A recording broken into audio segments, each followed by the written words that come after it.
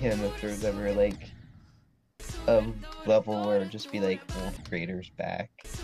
And he said, yeah, there's a level in development called Damascus. So I think that's cool.